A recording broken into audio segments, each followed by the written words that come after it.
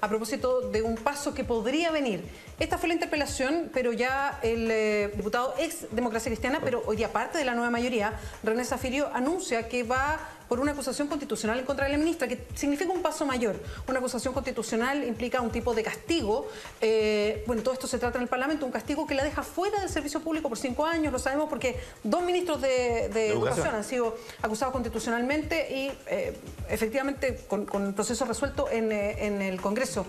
Queremos preguntarle a ustedes si se suben a este tema y cómo se suben. Miren, está la encuesta que estamos presentando como entrevista verdadera a través del Twitter para que ustedes la contesten y tiene que ver con esto. Está en arroba entrevista a la red, dice, después de la interpelación a la ministra Javiera Blanco, ¿apoyaría una acusación constitucional? Sí o no, son las alternativas, ya hay 110 votos. Por un sí van 61%, por un no un 39%. La vamos a dejar todo el programa y vamos a leer al final cuál es la opinión de ustedes. ¿Usted no apoya una acusación eh, constitucional? Mira, Beatriz, creo que no. Eh, no ayuda a resolver el tema de fondo, más allá de la existencia de responsabilidad política. político que tiene que ver con la oposición y su mirada nomás? Mira, no creo que haya votos para aprobarla. Eh, esto requiere ratificación del Senado.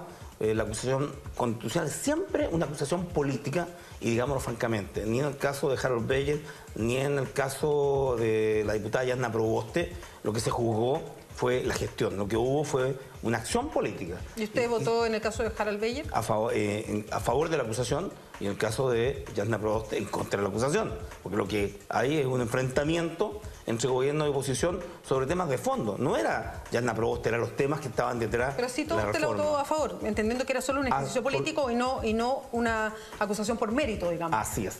Venía claramente que de hecho, lo acusaron por un hecho en, en, la CDMI de la región metropolitana. Pero más allá de eso, eh, si va la acusación, bueno, sigamos profundizando. Pero senador, ¿y no es por eso justamente que se deslegitima, este tipo de ejercicio, la interpelación por la forma en que se hace de trinchera política? Lo mismo que usted dice, de la acusación, usted acepta, yo voté a favor de la acusación pese a que no había un mérito de fondo, sino que más bien era un ejercicio de rivalidad política. ¿No es justamente eso lo que hace que hoy día se mire con tanta distancia el Congreso porque hay una permanente guerrilla política más allá de una, discusión de fondo para avanzar en los temas? Eh, Beatriz lo dijo Zafirio, yo estaba en la sala, concuerdo plenamente, prácticamente el ambiente que se creó en la tarde, el ambiente de descalificación, de enfrentamiento de las tribunas, había un ambiente insoportable. ¿eh?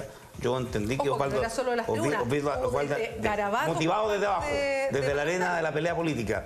Pero Osvaldo estaba un poquito limitado, como había funcionarios de gendarmería. Osvaldo Andrade. Y, Osvaldo Andrade, y gritaban jubilazo, eh, pero al final llegó un momento en donde las diatribas, eh, los insultos, hicieron que se, se arrojara la sala. Entonces, lo hemos dicho más de una vez, el formato hay que repensarlo, porque lo que, se, lo que se hace es recrear un verdadero circo romano, en donde se lleva, digamos, a una persona a la arena y se le, y se le trata, por cierto, de liquidar, porque la, oposición tenía la, misión de generar condiciones para la renuncia a la ministra. Senador, yo entiendo lo que usted dice, y eso es lo, que pasa en las tribunas, y efectivamente pasa. Pero yo le pregunto lo que pasa con ustedes, los parlamentarios, con esta guerrilla política, en este tipo de herramientas. Eh, mira, yo diría que es lo que hay. Mientras no tengamos un mecanismo de elección en donde tú puedas, por cierto, generar condiciones y exigir la revocabilidad del cargo, por ejemplo. Ah, el referéndum revocatorio, lo que vamos a tener una condición donde tú elijas al parlamentario y luego eh, hace lo que quiere durante los cuatro años o los ocho años como senador. Yo siento de que el perfeccionamiento de la democracia y, de la constitución del Senado y el Congreso va, eh, va a requerir de una nueva constitución eh, que acabe con este presidencialismo extremo, esta monarquía presidencial, y tengamos un Congreso eh, constituido con más cercanía a la gente, porque la exigencia ciudadana así lo va a hacer. Ojalá haya más ciudadanos ¿ah? que se postulen, digamos, no necesariamente a través de los partidos. Beatriz, tenemos un problema instalado y las interpelaciones no contribuyen ni a resolver los temas propios originales que motivan la interpelación, ni menos mejorar la imagen del Parlamento. Hoy día quedó una vez claro. O sea, la Cámara de Diputados no quedó bien parada a cualquier observador externo o interno. O sea, de hecho, hoy día es trending topic un garabato que, se, eh, que lanzó un diputado, el diputado Chilling, a las tribunas. Así es, yo estaba al lado de... mujeres que estaban en las tribunas. Así fue un comentario que captó, inapropiado por cierto, pero eh, creo que no debería ser lo adecuado que el tendistopio sea ah, si trató a la, señora de tal o cual manera, con tal o cual calificativo. Deberíamos estar discutiendo si efectivamente la ministra va a hacer lo que dijo y si los niños hoy día están seguros y no se nos va a morir un niño o una niña en las próximas horas. Estamos de acuerdo y ese es el tema de fondo, pero refleja lo que pasó hoy día en el Parlamento que sea eh, tendencia a través de las redes sociales esa frase.